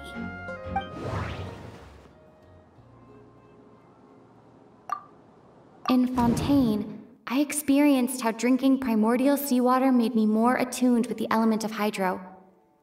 But that substance would be hard to get around here. All kinds of essential oils commonly found in alchemical products can temporarily increase elemental affinity. Hmm. But it would be difficult to force someone to use them without knowing it. The incense I smelled earlier seemed familiar. Thinking back on it, I'm almost certain it was the scent of Spirit Borneol. In Sumeru, scholars use Spirit Borneol to aid meditation and stimulate their connection to the Dendro Archon. Alchemically produced essential oils, the primordial seawater that caused unrest in Fontaine not too long ago. All of those are substances that can heighten your sensitivity to elemental energy. That stuff gave us a lot of trouble when we first came to Sumeru. Ah, yes. I definitely remember that. In Sumeru, it's not uncommon to use incense indoors, so its presence wouldn't arouse suspicion. The flowers in the room could also serve to mask the scent. Flowers were pretty important to this plan, huh? The glaze lily is native to Liyue. It would be completely unnatural to have one here in Sumeru if it weren't for the exhibition. What a coincidence. Actually, it's not a coincidence at all.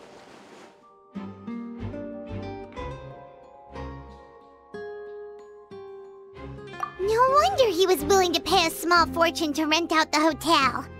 He probably used the Mora Yelena left him, don't you think? That money was supposed to set him free. But in the end, it was just a tool for his revenge. There's a saying among forensic doctors in Fontaine every step you take leaves a mark.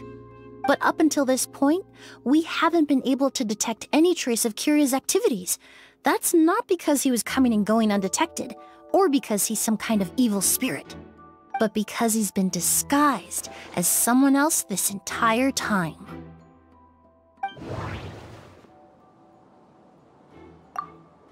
Creating such an intricate mechanism out of a glaze lily, setting up the spirit Borneol in advance, and arranging for Sylvain and Lucien to stay at the hotel. It all points to one person, the expert in charge of the entire exhibition. The Mora spent to rent out the hotel, the way the Auguste flower was cultivated, the method used to disguise his appearance. It all points to one person. The boy who inherited Yelena's legacy, her younger brother.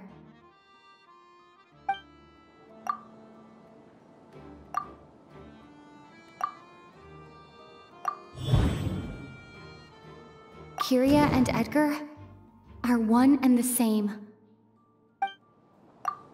But Kirya was only in his teens back then. He wouldn't even be 40 years old by now. Edgar's lived here for so many years. Even if he changed his appearance, going that long without giving anything away, it would be impossible. Bad news, Sheriff! Mr. Edgar was attacked! What? A dark shadow-like figure just ran out of his room. It was giving off a really ominous aura. Before we could even react, the figure up and disappeared like some sort of ghost or something. By the time we got a look inside the room, Mr. Edgar was gone. Do you think Kirya kidnapped him?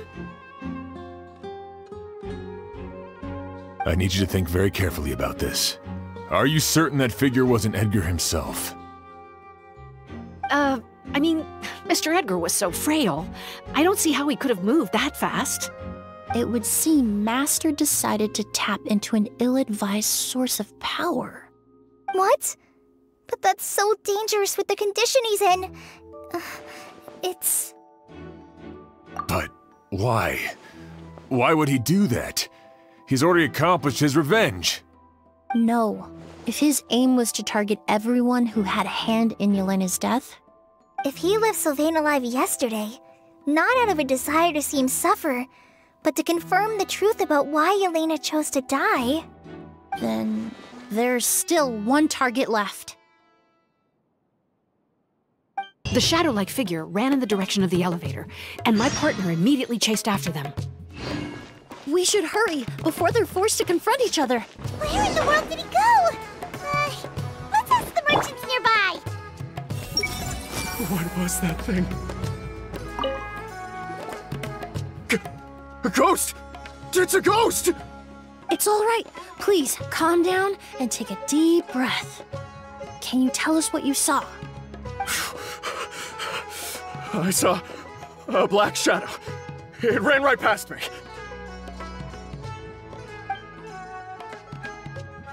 How could... How could something like that happen in broad daylight? How could something like that happen in broad daylight? This is terrifying. I see everything. No! Don't come any closer!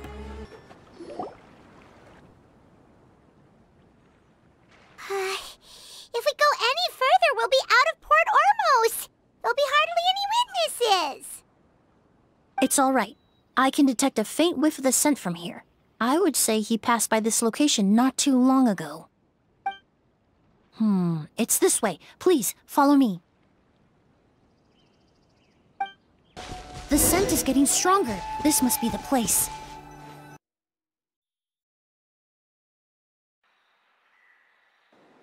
Oh!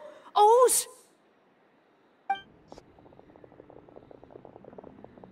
Are you all right? Were, were you attacked? Uh, no. No, I'm alright. I was just chasing after that figure, and then, all of a sudden, I didn't feel so hot. Let me take a look. The air definitely feels heavy. It smells nice, but for some reason, it's hard to breathe. This feeling. I've encountered it before. Everything looks all right. It was probably just the stress of the chase, combined with the impact of the environment. A bit of rest would do you some good. I can't rest. Mr. Edgar is still in there. He taught my sister how to make perfume. He's a good man. I can't just abandon him to die by Kirya's hand. Oz, you need to calm down and listen to me. Edgar is the one we're after. He and Kirya are the same person. But how is that possible? I thought you said Kirya was in his 30s. Mr. Edgar is 70-something. Changing your appearance to look decades older, that doesn't seem possible.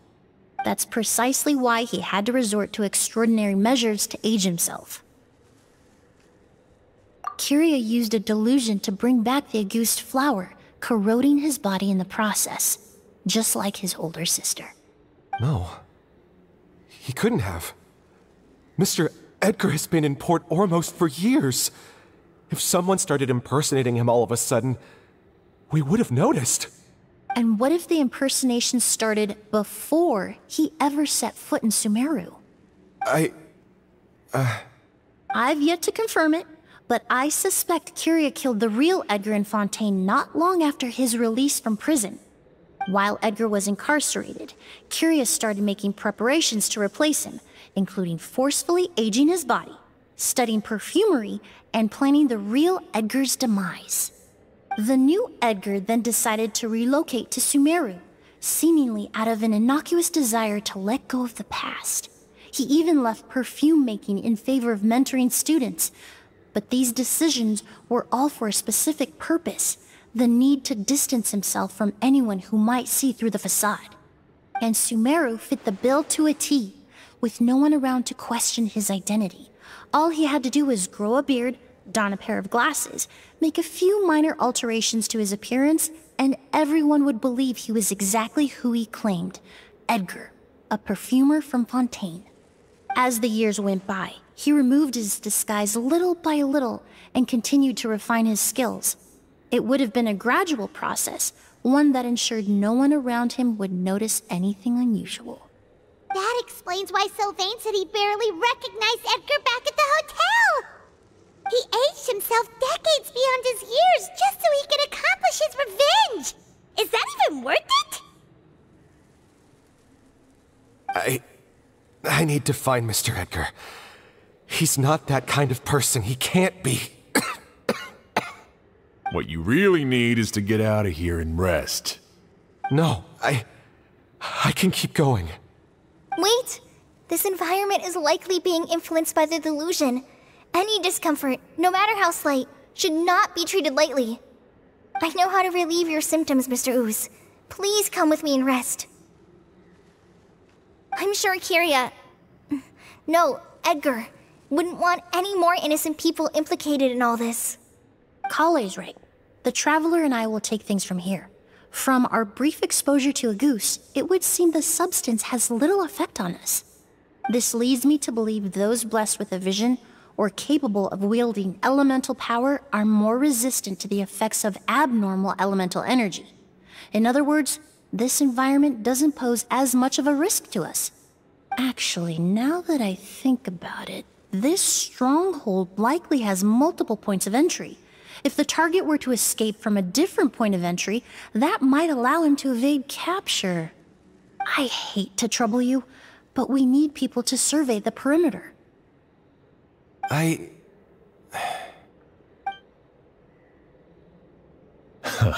Thanks. Hear that? We're heading out. There's work to be done. Ooze, head back to Port Ormos and start gathering reinforcements. Got it. Traveler, Emilie, Paimon, please be careful. For someone whose only purpose in life is revenge, there's no telling what they'll do when there's no reason to move forward. Don't worry.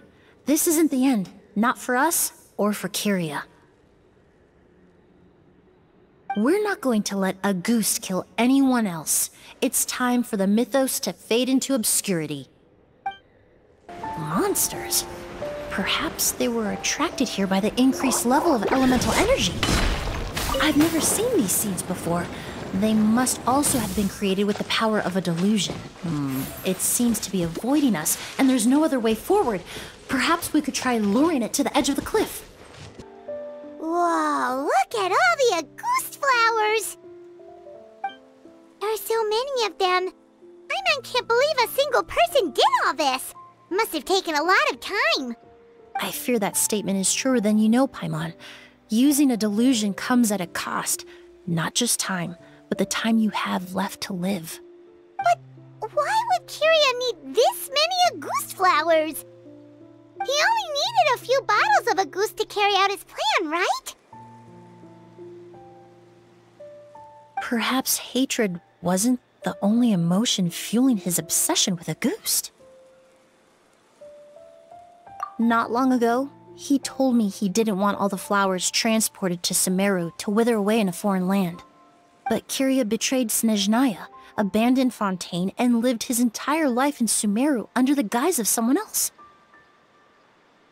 For someone with nowhere to call home, perhaps dying among a bed of Auguste flowers just like his sister is the best homecoming he could ask for.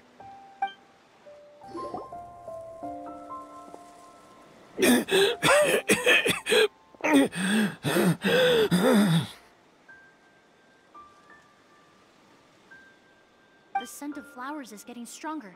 We're almost at the end. Did they catch up that fast? No. My strength is just waning.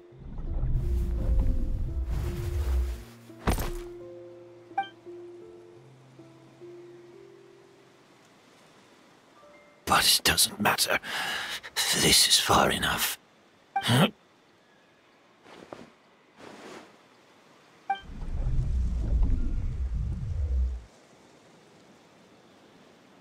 Uh. This is a garden of Auguste flowers. But it's not mine. It's the one that was set on fire all those years ago in Fontaine. Yelena? Yelena! You tried to hide it from me, but I... I always understood. The reason why you continued to use the delusion. The reason why you set your garden on fire. It was all because of me. I shouldn't have listened to you that day. I shouldn't have taken the Mora and ran. But by the time I realized something wasn't right, there was nothing left. The flowers were gone. And so were you. I know I'm almost 20 years too late. I should have come looking for you earlier. I should have... I should have died with you that day!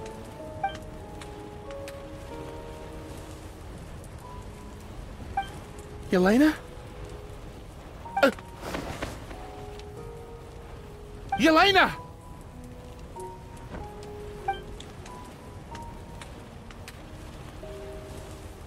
No!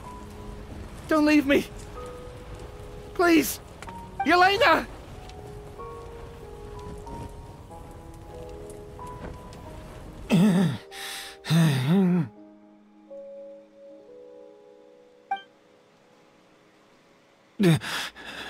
Emilie? I...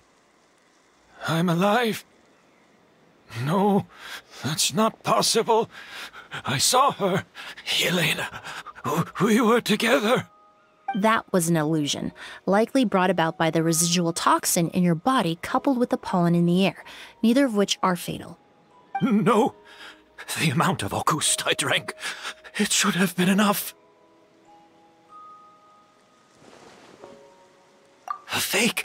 But how? We started making the preparations last night with one goal in mind to create a perfect accord. The accord is the basis of perfume making, the product in its most primitive form. Ambergris mixed with cedar wood, rounded out with a base note of agar wood.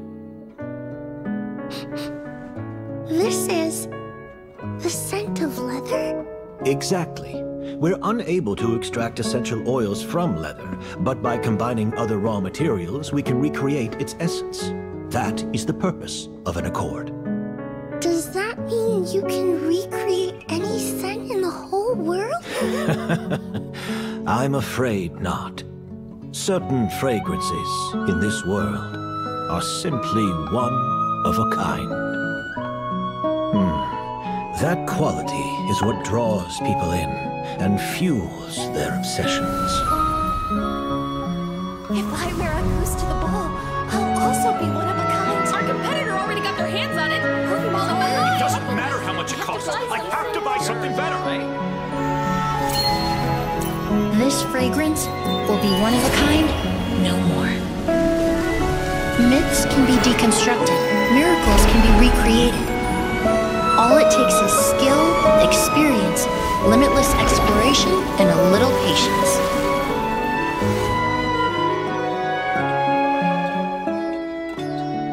The only thing left is determining where the real Auguste is hidden. Pretending to be attacked means he's not free to move around.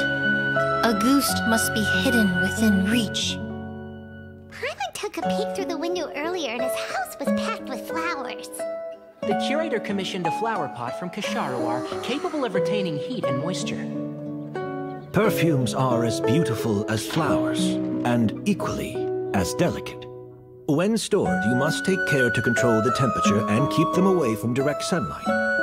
Did you get all that, Emilie? Mm-hmm. I got it.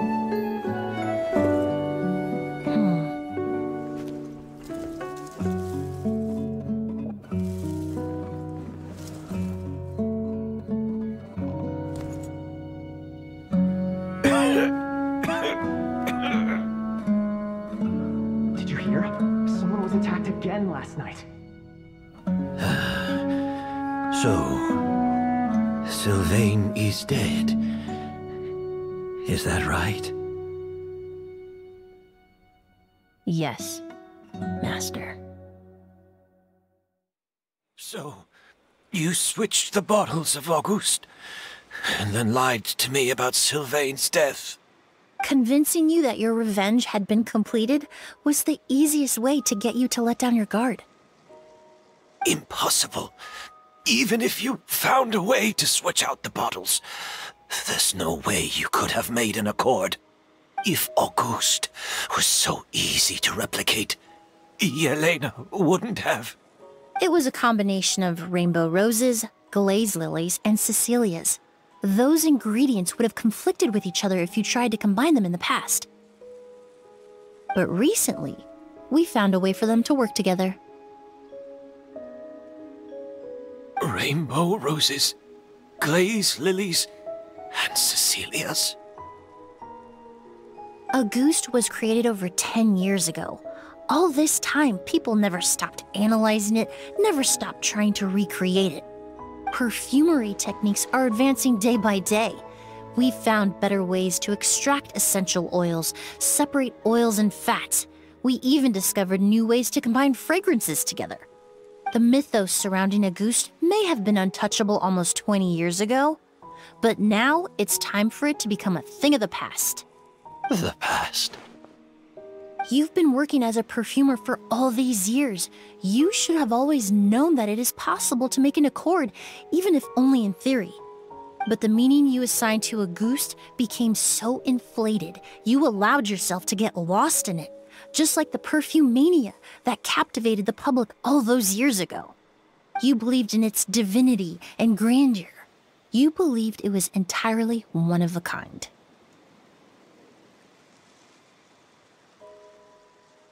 Your obsession with Auguste is also what allowed us to predict how you intended your plan to end, and to make preparations in advance. We just didn't expect it to happen so fast.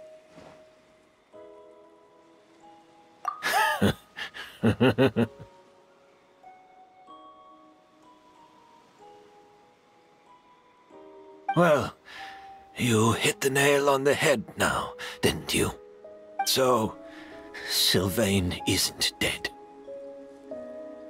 Since you've been preparing your accord since last night, I assume you've also figured out my method, then. That means the news of Sylvain's death. The crowd gathered outside the hotel this morning. It was all an act you put on with the sheriff? Yes. If we hadn't, you might have resorted to the delusion out of desperation, or continued to use your Spirit Borneol and Auguste combination to wreak havoc. Who knows? Maybe I would have just offed myself then and there. I know if you had things your way, you would carry the truth of Edgar's demise and the secrets of this garden to the grave, but I'm sorry, Master. I don't want to see any more death. Sylvain only inhaled a small amount of poison. He's being detained as we speak. All the crimes he concealed back then will be exposed in a court of law for everyone to see, and all his secrets will be revealed. The same goes for you as well. Is that so? Well, I suppose I'll be spending the rest of my days in a prison cell then. Whoa, he accepted that kinda fast. I don't feel the need to justify my actions, nor do I intend to repent for them. I did what I set out to do. I may have lost in the end, but it was my choice every step of the way. And if I could do it all over again... but there's no going back, is there? Way. Stick close and hurry up. We can't let Edgar die. Looks like I'm almost out of time. Although, I do have one final question, Emilie. Of course, Master. The combination you used to make your accord. How did you figure it out? The scent of Auguste is complex and varied, yet the main ingredient consists of a single variety of flower. So, as I was analyzing the sample yesterday, I got to thinking, what if the scent of the Auguste flower was already imbued with that complexity during its cultivation? You're saying Yelena designed Auguste to have the scent of multiple flowers. Rainbow roses, glaze lilies, Cecilias. The perfumers of the past knew that if you combined their essential oils directly, they would just cancel each other out. It was a conundrum they could never solve. But if you cultivate a new flower species that intrinsically carries the unique features of those three scents, you can bypass that issue entirely. It goes without saying that for that time, this idea was a stroke of genius. Rainbow roses, glaze lilies, and Cecilias. Those really do seem like flowers you would choose, Yelena.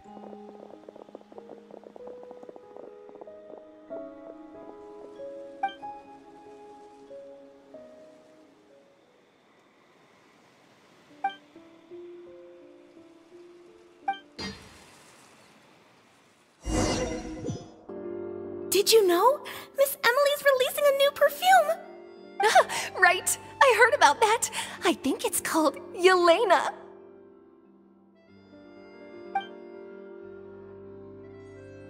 Seems like everyone in Fontaine is talking about the new perfume you're releasing.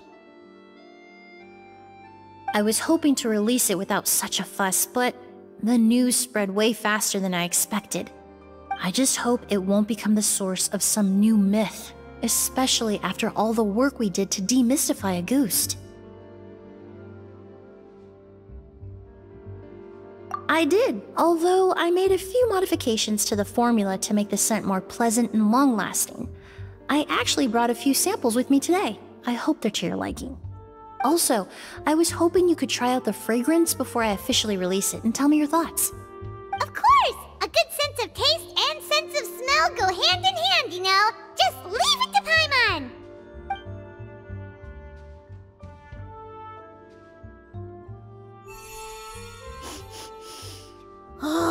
It smells great!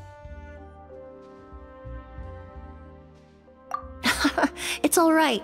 All feedback is worth considering. Besides, when it comes to perfume, commenting on whether it smells good is the most straightforward assessment you can ask for. There doesn't always have to be a deeper meaning. Right! Do those flowers have some special meaning? Their names seemed to have an effect on him. Hmm, if I had to guess, I'd say it probably has something to do with the language of flowers.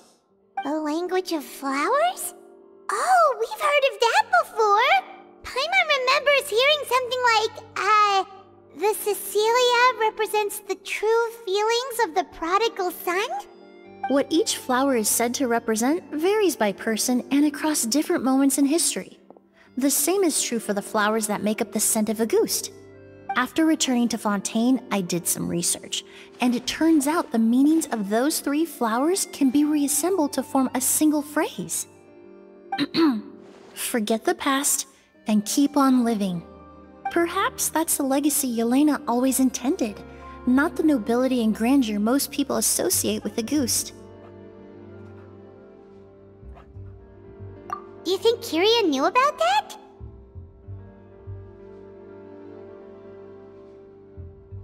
I paid him a visit before his trial and explained what I found, but he didn't seem to care. Who knows? Maybe she didn't mean anything by it at all. That was his response. Yelena is gone. We'll never know what she was thinking. We can look for meaning all we want, but it'll never be anything but conjecture. Even if that is what she was trying to say, I would never be able to forget her. Avenging her death? That was the meaning I chose for my life. Kirya cultivated his revenge like a flower. He was committed to making it bloom, even if in the end, it didn't bear the fruit he was hoping for. In any case, he did want me to pass along his thanks. Thank you for saving my life, for giving me the chance to learn that Auguste could have carried a very different meaning. Love and hatred are a privilege of the living. When someone dies, their thoughts, feelings, and intentions die with them. In that sense, what Auguste truly represents in the language of flowers will forever remain a mystery. But even if it's only a conjecture, I would like to believe my own interpretation. The meaning we give to flowers, the symbolism we assign to our perfumes, they're constantly twisted and exploited in our imperfect world. And yet, at the very outset, they're born from the simplest and most beautiful desires we hold in our heart.